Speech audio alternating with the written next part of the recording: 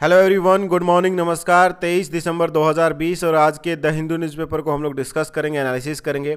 आप लोग इसकी पीडीएफ को डाउनलोड कर सकते हैं टेलीग्राम से, जिसका लिंक आपको डिस्क्रिप्शन में मिल जाएगा, या सीधा परिवर्तन आई एस अकेडमी टेलीग्राम पर लिखकर भी आप लोग सर्च कर सकते हैं। सबसे पहले बात करेंगे यूके के अंदर जो न्यू वायरस का स्ट्रेन मिला कोविड नाइन्टीन को लेकर, उसको लेकर जो है दुनिया भर में एक तरीके से अलग तरीके का माहौल देखने को मिल रहा है। डब्ल्यूएचओ ने भी इमरजेंसी मीटिंग बुलाई है और बहुत सारी कंट्रीज़ ने फ्लाइट्स जो है बैन कर दी है। भारत सरकार ने, भारत की सिविल एविएशन मिनिस्ट्री ने भी थर्टी फ़र्स्ट दिसंबर तक कोई भी फ़्लाइट जो यूके से ना आएगी, ना जाएगी। लेकिन इन सब के बाद जैसे आर टी पी सी जो टेस्टिंग करेगी, उनमें ट्वेंटी फ़्लाइट, बीस ऐसे पैसेंजर है जिनके, जो कोविड नाइन्टीन टेस्ट है वो पॉजिटिव आए हैं। हालाँकि ये नंबर और भी ज़्यादा हो सकता है। तो प्रॉपरली गवर्नमेंट ऑफ़ इंडिया या जो एयरपोर्ट अथॉरिटी ऑफ़ इंडियाज़ है वो अलर्ट मोड पे है। और एक स्टैंडर्ड ऑपरेटिंग प्रोसीजर इसके लिए फॉलो किया जा रहा है। प्रॉपरली आइसोलेशन करना, उनको सेपरेट इंस्टीट्यूशनल फैसिलिटीज़ प्रोवाइड करना, ताकि न्यू कोरोना वायरस के बारे में, जिसके बारे में ज़्यादा नॉलेज नहीं है, उसको जो है काउंटर किया जा सके। नीति आयोग के मेंबर वीके पॉल, जो कि कोविड नाइन्टीन की वैक्सीन को लेकर या इस को, पॉलिसी को लेकर लगातार काम कर रहे हैं, उन्होंने ये कहा कि ये इसमें 17 चेंजेज हैं। इनके अलावा उन्होंने बताया कि 70 परसेंट तक जो है वो इसकी ट्रांसमिजिबिलिटी जो है ज़्यादा हो सकती है एज़ कंपेयर टू जो नॉर्मल कोविड नाइन्टीन है। तो कोई इन्फॉर्मेशन इसकी प्रॉपरली नहीं है कि न्यूज़ स्टेट में है क्या, कैसे इम्पेक्ट करेगा, कैसे ट्रांसफ़र हो सकता है, कैसे रिएक्ट कर सकता है। इनके अलावा जो गवर्नमेंट ऑफ़ इंडिया है उन्होंने बैन कर दिया। लेकिन इन सब के बीच में जो इनको प्रॉपरली एक तरीके से आइसोलेशन में रखा जाएगा, जो पैसेंजर वहाँ से आएँगे, ताकि इसको जो है फैलने से रोका जा सके या इसके स्प्रेडिंग को जो है वो काउंटर किया जा सके। इसके बाद नीचे जो है वो ग्रेट इंडियन बस्टर्ड के बारे में इंफॉर्मेशन है। ग्रेट इंडियन बस्टर्ड एक इम्पोर्टेंट बर्ड कह सकते हैं, जो कि अगर आप मैपिंग में देखेंगे थोड़ा सा तो ये जो थार डेजर्ट है, जिसमें राजस्थान और पाकिस्तान वाले एरिया के अंदर भी मिलता है, और इनका जो नंबर है, वो बहुत ही कम रह गया, क्योंकि ये लगभग डेढ़ सौ के आसपास ही दुनिया भर में ये बचे हैं। तो ministry of environment forest and climate change ने वाइल्ड लाइफ कंजर्वेशन सोसाइटी के साथ मिलकर एक तरीके से इनिशिएटिव लिया है, कि कैसे फायर फ्लाई बर्ड्स को जो है डाइवर्ट किया जा सकता है एक तरीके से कैसे उनको सेव किया जाए, उनको क्रिटिकली थ्रीटेंड स्पीसीज में से एक है। और इसको कैसे प्रोटेक्ट कर सकते हैं, उसके बारे में काम किया जा रहा है। इसके अलावा मिनिस्ट्री के ने एक रिपोर्ट भी दी थी नेशनल ग्रीन ट्राइब्यूनल ने 2019 के अंदर कि ये जो हाई ट्रांसमिटेबल जो ये जो आप देखेंगे वायरिंग है, ये कहीं ना कहीं हाई वोल्टेज ट्रांसमिशन जो होता है, उनके लिए काफ़ी चैलेंजिंग होने वाला है।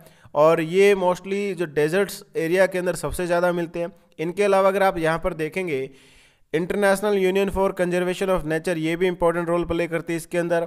बर्ड्स का नंबर काफ़ी कम है और इसके अंदर एक इंपॉर्टेंट जो है कि पोखरण फ़ील्ड फायरिंग रेंज इस, इसका भी एक तरीके से नेगेटिव असर इनके ऊपर हो सकता है और एक सेंचुरी जो काफ़ी इंपॉर्टेंट इसमें काम करती है या इसके इसके लिए जानी जाती है वो है desert national park sanctuary in Jaisalmer UPSC में सवाल पूछा गया था और ग्रेट इंडियन बस्टर्ड को लेकर किस कैटेगरीज के अंदर है, आपको ये इन्फॉर्मेशन होनी चाहिए कि international union for conservation of nature में जो क्राइटेरियाज है कैटेगरीज को लेकर, जो रेड डेटा बुक प्रेजेंट की जाती थी उसके अंदर ग्रेट इंडियन बस्टर्ड को कहाँ पर रखा जाता है? किस कैटेगरी के अंदर?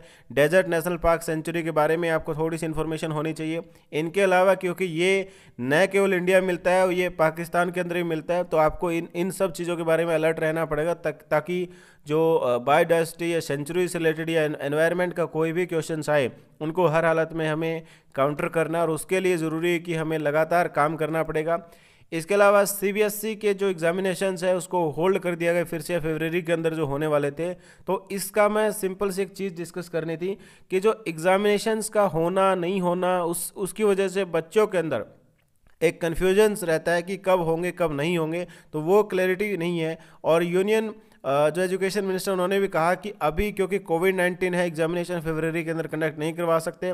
जनरली क्या होता है कि फेबररी के अंदर जो है जनवरी के अंदर प्रैक्टिकल होती थी और फेबररी के अंदर एग्जामिनेशन होते थे। क्योंकि ये टेंथ और ट्वेल्थ की एग्जामिनेशन है, इसके बाद डायरेक्शन डिसाइड करते हैं कि बच्चों को किस डायरेक्शन में जाना है, किस अपने ड्रीम्स को कंप्लीट करना है। लेकिन उन सब के बीच में एक कन्फ्यूज़न एक क्लैरिटी ना होना, ये कहीं ना कहीं मेंटल स्ट्रेस भी देता है। और इन सब के बाद अगर एक पॉसिबिलिटी सर्च की गई कि क्या ऑनलाइन एग्जामिनेशन कंडक्ट करवाए जा, सकते हैं। तो ऑनलाइन एग्जामिनेशन का पैटर्न क्या होगा? कैसे कंडक्ट करवाए जाएँगे? इनके बारे में कोई प्रॉपरली चीज़ें इन्फॉर्मेशन हमारे पास नहीं है। इसके अलावा जम्मू एंड कश्मीर के अंदर इलेक्शंस कंडक्ट करवाए गए। वहाँ पर डीडीसी के इलेक्शन जिसको बोलते हैं। और पहली बार इस तरह की चीज़ें वहाँ पर देखने को मिल कि अच्छे खासा टर्नआउट देखने को मिला वोटिंग में और पीसफुली जो रिज़ल्ट डिक्लेयर कर दिए गए। और अच्छी बात है अगर लोकल लेवल पर पॉलिटिक्स में या एक तरीके से कह सकते हैं गवर्नेंस में पार्ट बनते हैं, लोगों की प्रेजेंस बढ़ती है डेमोक्रेसी के अंदर तो ये एक कॉन्फिडेंट उनको फील करवाएगा और अपने लोगों को चुनने का एक राइट देगा।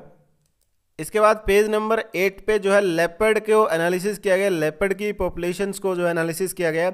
इसमें बताया गया कि वेस्टर्न घाट जो है वो three three eight seven leopard यहाँ पर है। कर्नाटका के अंदर सबसे ज़्यादा और उसके बाद तमिलनाडु और केरला के अंदर मिले हैं। यहाँ पर आपको कई सारी इन्फॉर्मेशन मिलेगी जो कि हमारे लिए काफ़ी इंपॉर्टेंट है। वेस्टर्न घाट को आप जानते होंगे कि ये हॉटस्पॉट्स के अंदर है और नॉर्थ ईस्ट का जो ईस्टर्न हिमालय है, वहाँ पर भी ये हॉटस्पॉट के अंदर काउंट किया जाता है। तो भारत के अंदर टोटल जो लेपर्ड की पॉपुलेशन है ये बारह हज़ार आठ सौ बावन, यानी twelve thousand eight hundred fifty two population है। Status of leopards in India twenty eighteen की रिपोर्ट को जो है डिक्लेयर किया गया। इसमें काफ़ी इंटरेस्टिंग चीज़ें आपको देखने को मिलेगी। और यहाँ पर कुछ जैसे वेस्टर्न घाट है, नीलगिरीज है, इनके बारे में हमें बेसिक इन्फॉर्मेशन होना चाहिए। वेस्टर्न घाट से एक डायरेक्ट क्वेश्चन पूछा था, कितने स्टेट्स को टच करता है वेस्टर्न घाट? ये सवाल भी पूछे जा सकते हैं। इनके अलावा यहाँ पर कई सारी चीज़ें, for example Kali tiger reserve है, और यहाँ पर जैसे आप भद्रा देखेंगे, ये भी काफ़ी इंपॉर्टेंट है। इनके अलावा यहाँ पर नागरहोल, बांदीपुर, मधुमलई, सत्यमंगलम, जो ये सत्यमंगलम यहाँ पर वर्ड यूज़ किया गया है, ये यूपीएससी ने पूछा था सत्यमंगलम टाइगर रिज़र्व को लेकर, और आई थिंक 2015 16 17 के आसपास का ये सवाल है एग्जैक्टली नहीं पता, लेकिन है, ये उसी टाइम का। और इसके अलावा नीलगिरी है साइलेंट वैली वायनाइट ये काफ़ी इंपॉर्टेंट यहाँ पर आपको national park wild life sanctuary tiger reserve देखने को मिलेंगे। इनके अलावा बनेरघट्टा नेशनल पार्क भी इसी में काउंट किया जाएगा। कैमरा के थ्रू ट्रैप किया गया और जो इसमें पॉपुलेशन को एनालिसिस करने का मतलब ये होता है कि एक तरीके से जो ह्यूमन वाइल्ड लाइफ का इंट्रैक्शन होता है, या ह्यूमन वाइल्ड लाइफ का जो एक तरीके से फाइट होते एक दूसरे से या एक तरीके से हम देखेंगे कि उनका कॉम्प्लेक्स सिचुएशंस हो जाती है, रिलेशंस को कैसे मेंटेन करना है, क्लैश ना हो दोनों के बीच में मेंटेन करना ये इंपॉर्टेंट होने वाला है। इसके बाद पेज नंबर नाइन पर जो है वो आ, हमारे प्रधानमंत्री साहब ने अलीगढ़ मुस्लिम यूनिवर्सिटी का जो सेशन था या एक तरीके से आ, उसको अनाउंस उसको जो संबोधित किया जाए चीफ गेस्ट को आ, के रूप में। ठीक है इसके अंदर कुछ इंपॉर्टेंट बातें उन्होंने बोली उसके बारे में थोड़ा सा एनालिसिस करेंगे। अलीगढ़ मुस्लिम यूनिवर्सिटी में उन्होंने एज ए चीफ गेस्ट जो है संबोधित किया अपना स्पीच दिया। इनके अलावा ये पहले ऐसे प्राइम मिनिस्टर होंगे जो लाल बहादुर शास्त्री के बाद अलीगढ़ मुस्लिम यूनिवर्सिटी को जो है संबोधित किया। तो उन्होंने सबसे इंटरेस्टिंग कुछ वर्ड्स यहाँ पर पिक करे, उनको हम थोड़ा देखेंगे। उनको, उन्होंने कहा कि हमें अपने न्यू इंडिया के लिए काम करना पड़ेगा, एक साथ मिलकर काम करना पड़ेगा। इनके अलावा डिफरेंसेस हो सकते हैं आइडियोलॉजिकल डिफरेंसेस हो सकते हैं, लेकिन जब बात आती है नेशनल गोल की, राष्ट्रीय लक्ष्यों की, तब हमें अपने डिफरेंसेस को एक अलग रख के एक साथ काम करना चाहिए। इनके अलावा सोसाइटी जो है, वो इम्पोर्टेंट है पॉलिटिक्स एंड पावर से, ठीक है? इसके अलावा कई सारी चीज़ें बताई गई कि उन्होंने स्पेस इस कैंपस के बारे में डिस्कस किया, अलीगढ़ मुस्लिम यूनिवर्सिटी के रोल के बारे में डिस्कशन किया पूरे कंट्री के अंदर। इनके अलावा जो एक उनका पॉलिटिकल कैंपेन भी था, सबका साथ, सबका विकास, सबका विश्वास करके उसी फ़ेज़ के अंदर उन्होंने कई सारी चीज़ें बताई।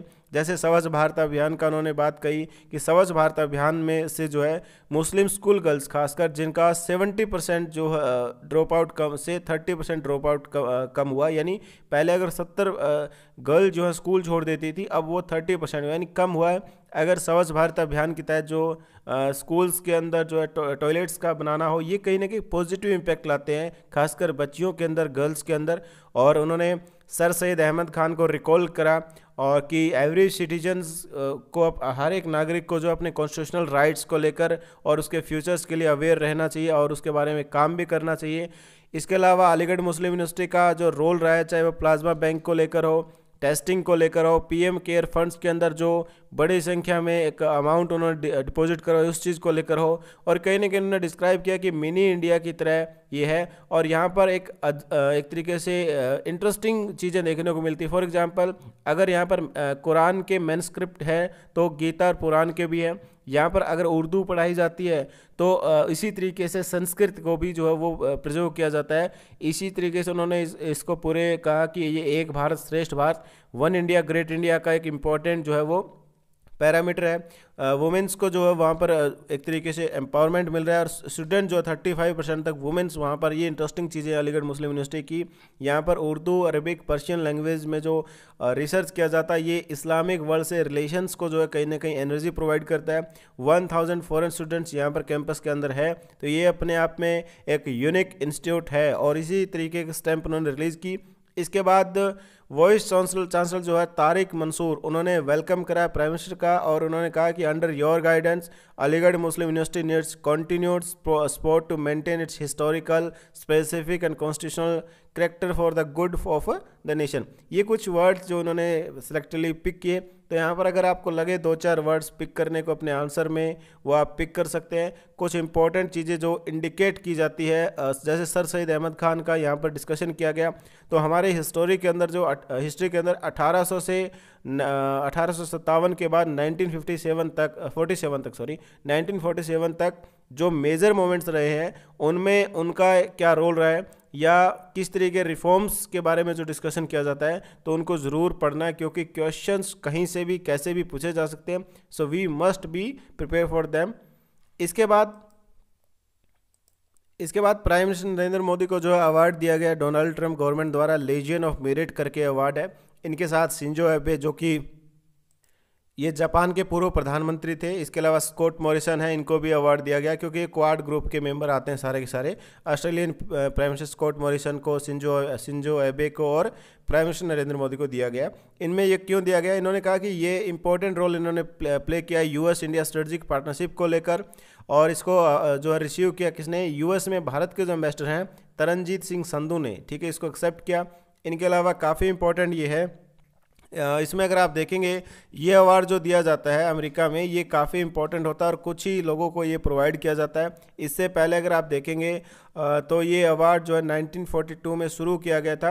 यूनाइटेड स्टेट्स के जो प्रेसिडेंट थे फ्रैंकलिन डी रोजवेल्ट द्वारा और ये यूएस आर्म्ड फोर्सेस को या फॉरेन डिग्निटीज़ को, जो नॉन यूएस उनको भी दिया जा सकता था। और जनरली ये आर्म्ड फोर्सेस को हेड्स ऑफ़ स्टेट को भी दिया जा सकता है।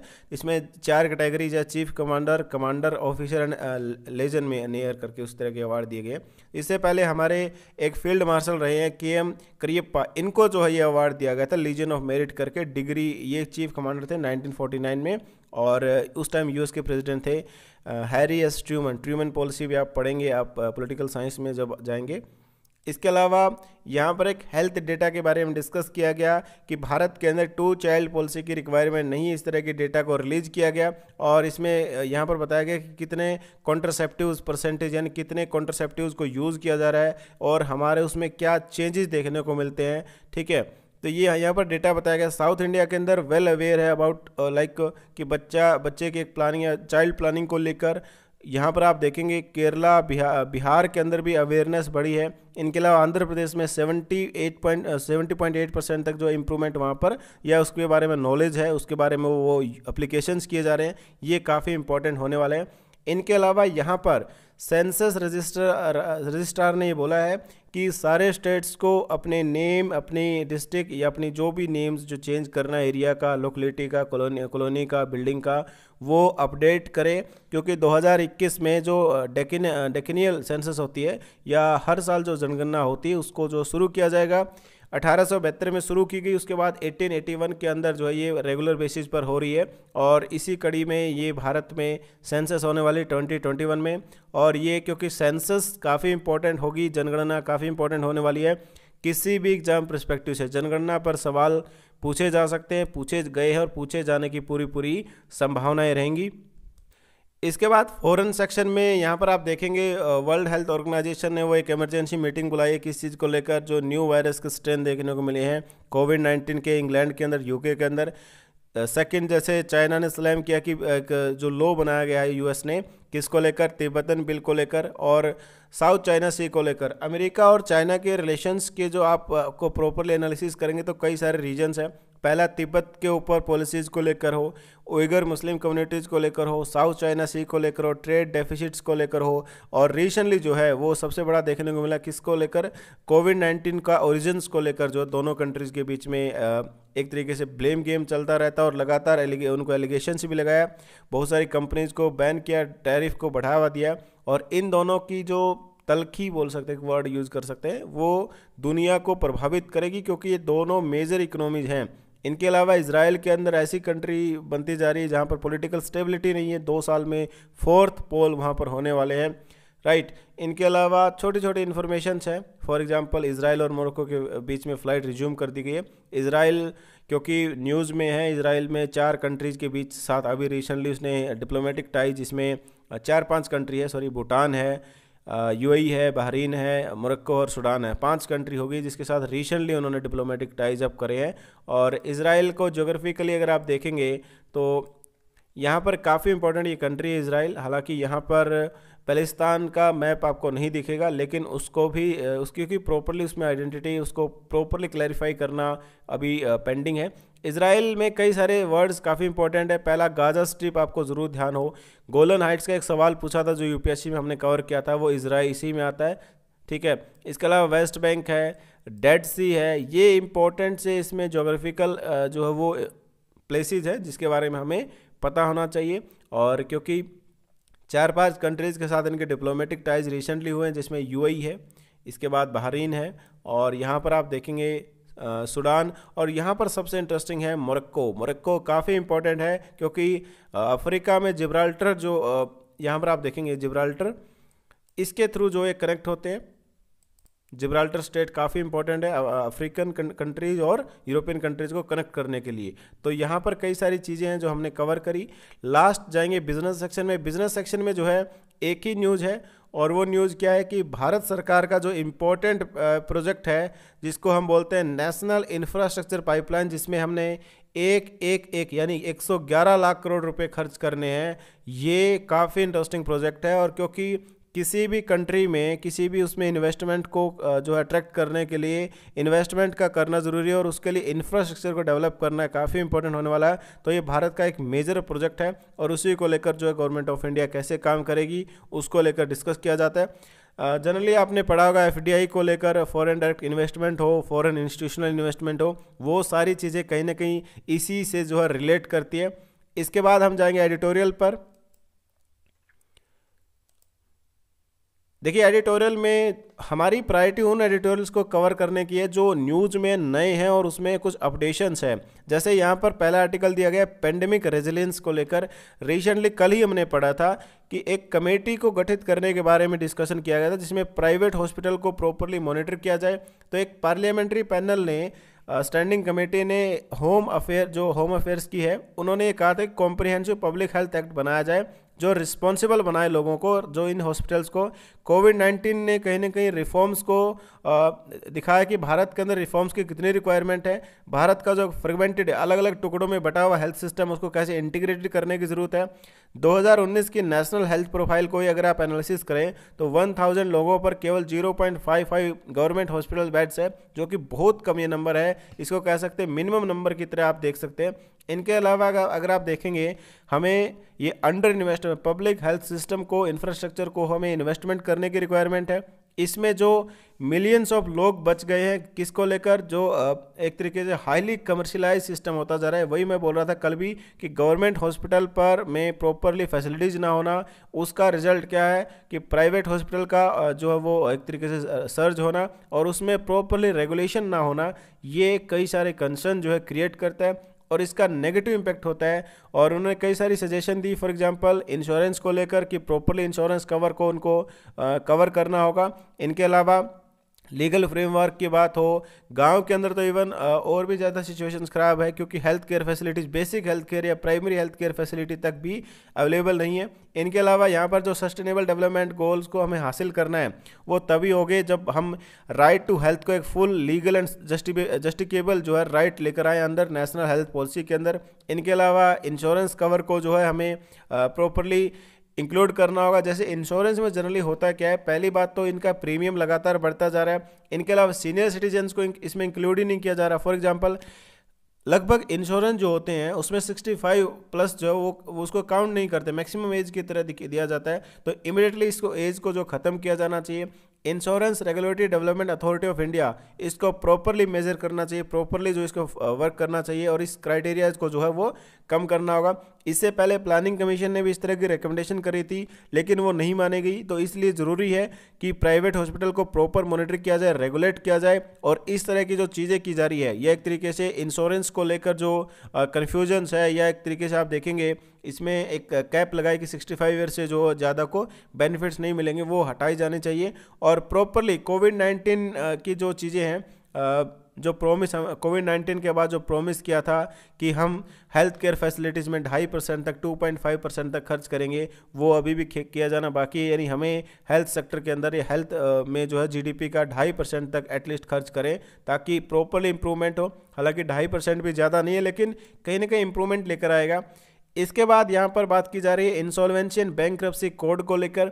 ये न्यूज़ में था इंसॉल्वेंशियन बैंक कोड का सिंपल सा मतलब समझ लीजिए, दिवालिया को बचाने के लिए जो जो कंपनीज़ दिवालिया हो जाती है, उनको कैसे हम बाहर निकाल सकते हैं? क्या उसका एक सॉल्यूशंस हो सकता है उस पर काम करना? तो ये जो लागू किया जाना 2016 का कोड ये twenty first thirty first March twenty twenty one तक एक तरीके से होल्ड कर दिया, उसको डिले कर दिया गया है। ठीक है, इसका रीजंस क्या है? कोविड नाइन्टीन है, इकोनॉमी जो है वो अच्छे से काम नहीं कर रही, रिवाइवल नहीं है प्रॉपरली और हालाँकि अलग अलग इंडिकेटर ये बोलते हैं कि हमारी इकोनॉमी रिवाइव कर रही है तो ये अलग अलग यहाँ पर चीज़ें देखने को मिलेगी, ठीक है? तो इसके बारे में ये आर्टिकल मैं पर्सनली कहूँगा कि आप थोड़ा सा देख लीजिएगा, ठीक है? इंसॉल्वेंशन बैंक कोड पर सवाल पूछा जा सकता है, लेकिन क्योंकि ये आर्टिकल इसी के बारे में गवर्नमेंट्स के क्या प्लान है गवर्नमेंट कैसे सोचती है फाइनेंस मिनिस्ट्री कैसे सोच रही है उस चीज़ को लेकर, उसी के बारे में डिस्कस किया गया है। लास्ट क्योंकि एक इंपॉर्टेंट एडिटोरियल कवर करना है और ये एडिटोरियल है पेरिस एग्रीमेंट को लेकर। पेरिस एग्रीमेंट के बारे में हमने रिसेंटली पढ़ा था। 12 दिसंबर को पाँच साल कंप्लीट हो गए। पेरिस एग्रीमेंट जो है वो क्लाइमेट चेंज को लेकर है। कैसे क्लाइमेट दुनिया भर के देश जो है विश्व को दो परसेंट तक या टेम्परेचर राइज होने तक रोक सकते हैं। उनके बारे में डिस्कशन करना है और कैसे हम लोग जो नेट ज़ीरो एमिशंस की तरफ़ बढ़ेंगे, इसके बारे में डिस्कशन किया गया। रिसेंटली हमारे प्राइम मिनिस्टर साहब ने भी इसमें पार्टिसिपेट किया और कई सारी चीज़ों के बारे में इन्होंने भी डिस्कशन किया है कि पाँच साल के इस ड्यूरेशंस के अंदर एक चीज़ें जो इम्पोर्टेंट है कि अगर हम देखें कोविड नाइन्टीन का जो है वो राइज होना हो, उस, वो एक तरीके से इंडिकेट करता है कि हमारे लिए कितना इंपॉर्टेंट है एनवायरनमेंट को प्रोटेक्ट करना क्लाइमेट चेंज को रोकना और क्लाइमेट चेंज जो है काफ़ी ज़्यादा प्रॉब्लमेटिक प्रॉब्लम लेकर आएगा। तो इसी चीज़ में ग्रीन रिकवरी के बारे में बात करी। 2019 के अंदर यूरोपियन कमीशन ने यूरोपियन ग्रीन डील के बारे में बात किया था, जिसमें उन्होंने कहा कि नेक्स्ट जनरेशन जो होगी यू की वो क्लाइमेट न्यूट्रलिटी पर काम होगी और इसमें एक तरीके से इन्होंने हाफ़ ए ट्रिलियन यूरो जो इसमें खर्च किया जाएगा। राइट, इनके अलावा 2050 तक उन्होंने कहा कि हम एक तरीके से कार्बन न्यूट्रलिटी या ग्रीन हाउस गैसेज को 55 परसेंट तक कम करेंगे।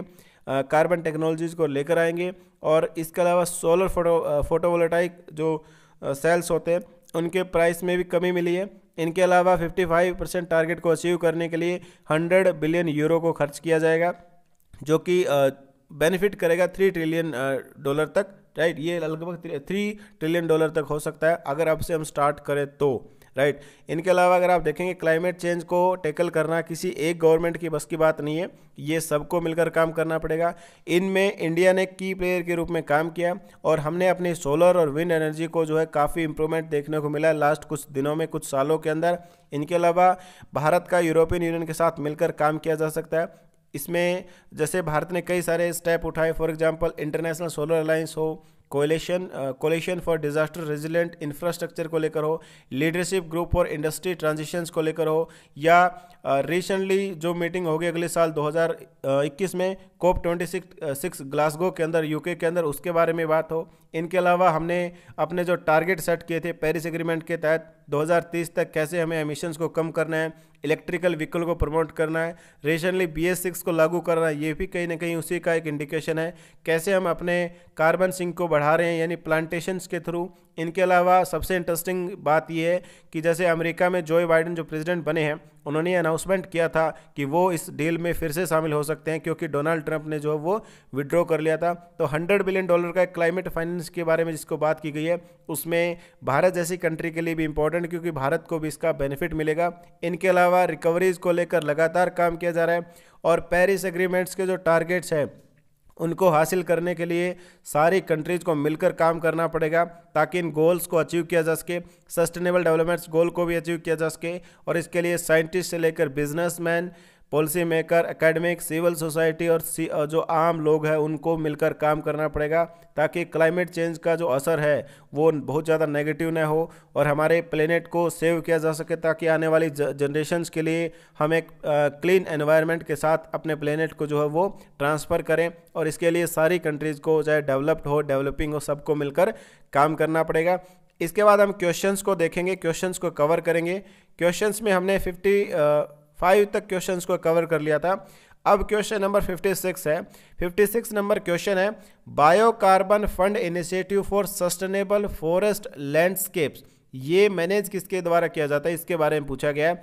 एशियन डेवलपमेंट बैंक है, इंटरनेशनल मॉनिटरी फंड या अंतर्राष्ट्रीय मुद्रा कोष, यूनाइटेड नेशन एनवायरनमेंट प्रोग्राम है या वर्ल्ड बैंक। 56 नंबर ये क्वेश्चन है। आप हिंदी में भी इसका देख सकते हैं। हालाँकि हिंदी में इन्होंने कुछ खास लिखा नहीं सेम वही चीज़ इंग्लिश वाली ही वर्ड इन्होंने यूज़ करी। तो ये किसके द्वारा किया जाएगा? पहली बात, कोई अगर बड़े स्केल पर फॉरेस्ट से रिलेटेड फंड्स हैं तो एशियन डेवलपमेंट बैंक्स की पॉसिबिलिटी थोड़ी कम होगी तो इसमें तीन ऑप्शंस बचेंगे। लेकिन यहाँ पर फंडिंग जो सबसे ज़्यादा प्रोवाइड कर सकता है वो वर्ल्ड बैंक ही हो सकता है, क्योंकि यूनाइटेड नेशन एनवायरनमेंट प्रोग्राम जो वो एक तरीके से एनवायरनमेंट को प्रोटेक्ट करने के प्रोग्राम्स को ज़्यादा लॉन्च करता है तो इसका जो राइट आंसर होगा, वो होगा डी वर्ल्ड बैंक यानी ये जो फंड इनिशिएटिव जो है वो मॉनिटर किया जाता है मैनेज किया जाता है वर्ल्ड बैंक के द्वारा, ठीक है? इसके बाद यहाँ पर तीन स्टेटमेंट दी गई है कि भारत इनमें से किस किस ग्रुप का जो पार्ट है Asia Pacific economic cooperation association of South East Asia यानी आशियान और ईस्ट एशिया समिट तो हमने कई बार डिस्कस किया है कि जैसे अब आशियान का जो इशू चल रहा था, भारत ने रीजनल कॉम्प्रिहेंसिव इकोनॉमिक पार्टनरशिप को जो है उसका, उसे विड्रॉ कर लिया था। तब भी न्यूज़ में था, तब भी मैंने बोला था कि सवाल पूछे जाएँगे पूछे जाते रहे और आने वाले टाइम में पूछे जा सकते हैं। तो आसियान में आपको जानते होंगे टेन कंट्रीज़ है। भारत आसियान का तो मेंबर हो ही नहीं सकता तो ये लॉजिकली गलत है सेकंड ऑप्शन जो है वो कट जाएगा, यानी ऑप्शन ए और ऑप्शन सी ये अपने आप में कट जाएगा। राइट तो हमारे पास दो ही ऑप्शन बचेंगे, या तो केवल ईस्ट एशिया समिट का, या भारत इनमें से किसी का ही पार्ट नहीं है। तो ईस्ट एशिया समिट की अगर बात करें तो ईस्ट एशिया समिट में भारत पार्टिसिपेंट है, भारत जो मेंबर है। क्यों? देखिए टेन एशियन कंट्रीज़ है, आसियान कंट्रीज़ है। इनके अलावा यहाँ पर टोटल 18 कंट्रीज़ होंगी ईस्ट एशिया समिट के अंदर, जिसमें चाइना, जापान, साउथ कोरिया ऊपर से, यहाँ पर आप देखेंगे right China, Japan, South Korea, New Zealand और ऑस्ट्रेलिया, इंडिया और रशिया और अमेरिका, ये एट कंट्रीज़ टोटल होंगे अट्ठारह कंट्रीज़ हो जाएँगी, यानी एट आसियान आठ, एशियान प्लस एट कंट्रीज़ तो भारत जो है ईस्ट एशिया समिट का पार्ट है। तो यहाँ पर आप देखेंगे ऑप्शन बी आ जाएगा इसका राइट आंसर क्योंकि एशिया पैसिफिक इकोनॉमिक कॉपरेशन के भी हम लोग जो है पार्टिसिपेंट नहीं है। इसके बाद क्वेश्चन नंबर 58 है। कि स्टील प्रोडक्शन इंडस्ट्री के लिए क्या चीज़ इंपोर्ट करने की रिक्वायरमेंट है? यहाँ पर ध्यान रखिए, इन्होंने क्लियरली वर्ड यूज़ किया गया इंपोर्ट क्या करते हैं? साल्ट पिटर है रोक फास्फेट है कोकिंग कोल है। तो इसमें जो एक ही चीज़ है जो हम इंपोर्ट करते हैं, वो है कोकिंग कोल इसीलिए मैं कई बार एक वर्ड यूज़ करता हूँ कि इकोनॉमिक सर्वे जो है वो इंडिकेशंस करता है इंपोर्ट्स एक्सपोर्ट्स को प्रॉपरली एनालिसिस करता है। वो काफ़ी इंपॉर्टेंट है। और फैक्चुअल क्वेश्चंस को काउंटर करने सॉरी स्टैटिक क्वेश्चन को काउंटर करने के लिए फैक्चुअल डेटा भी हमें थोड़ा सा पता होना चाहिए। तो इसका जो राइट आंसर होगा वो कोकिंग कॉल होगा। ये हम इंपोर्ट करते हैं क्योंकि इसका जो भारत में प्रोडक्शन वो बहुत ही कम है। इसके बाद क्वेश्चन नंबर फिफ्टी नाइन है। फिफ्थ एंड सिक्स शेड्यूल जो इंडियन कॉन्स्टिट्यूशन की है वो किसके बारे में डिस्कस करती है? ट्राइब्स के जो राइट्स को प्रोटेस्ट करने राइट के प्रोटेक्ट को प्रोटेक्ट करने के लिए या ये boundaries between state and states के बीच में बाउंड्री को डिटरमाइन करती है, या ये पंचायत की रिस्पॉन्सिबिलिटीज़ को को लेकर काम करती है, या बॉर्डर स्टेट्स को जो, के इंटरेस्ट को जो प्रोटेक्ट करती है पंचायत वाला तो आएगा इलेवंथ नंबर शेड्यूल में, और बाउंड्रीज को डिटरमाइन करना ये एग्जैक्टली किसी शेड्यूल में तो नहीं है, लेकिन फ़र्स्ट शेड्यूल में स्टेट्स के नेम दिए गए हैं तो ये भी नहीं आएगा। तो इसमें जो राइट आंसर होगा वो ट्राइब से रिलेटेड आएगा, क्योंकि ए ही इसका पॉसिबल आंसर होगा, और वही इसका right answer as per official answer key, और वैसे भी एक ही आएगा लॉजिकल अगर आपने शेड्यूल्स को पढ़ा है। इसके बाद यहाँ पर स्टेटमेंट दी गई यूनियन गवर्नमेंट के बारे में कि डिपार्टमेंट ऑफ़ रेवेन्यू जो है वो प्रिपेयर करता है किसको? यूनियन बजट को और उसको प्रेजेंट भी करता है राइट तो पहली बात तो प्रेजेंट तो फिनिश मिनिस्टर करते हैं, पहली स्टेटमेंट अपने आप में गलत है और ये डिपार्टमेंट रेवेन्यू नहीं डिपार्टमेंट ऑफ़ इकोनॉमिक अफेयर जो इसको प्रिपेयर करता है तो पहली स्टेटमेंट गलत है, इसका मतलब ऑप्शन ए और ऑप्शन डी जो है वो कट हो जाएँगे। इसके बाद सेकंड ऑप्शन दे रखा है कि कॉन्सोलेटेड फंड यानी भारत की संचित निधि से पार्लियामेंट के अथोराइजेशन के बिना पैसा नहीं निकाला जा सकता। तो ये स्टेटमेंट जो है सही है, यानी आपके पास ऑप्शन बी और सी बचेंगे। लास्ट है कि पब्लिक अकाउंट से कोई भी पैसा निकालने के लिए पार्लियामेंट की रिक्वायरमेंट है। तो ये स्टेटमेंट सही नहीं कि हर एक पैसे के लिए आपको पार्लियामेंट की रिक्वायरमेंट होगी। तो केवल सेकेंड आंसर इसमें सही हो जाएगा, ठीक है? तो आज के द हिंदू न्यूज़पेपर में क्वेश्चन आंसर सेशन में इतना ही, और उम्मीद करते हैं आप लोगों को पसंद आएगा। और एक इंपॉर्टेंट चीज़ वीडियो को लाइक कर सकते हैं डिसलाइक कर सकते हैं। It's your choice thank you जय हिंद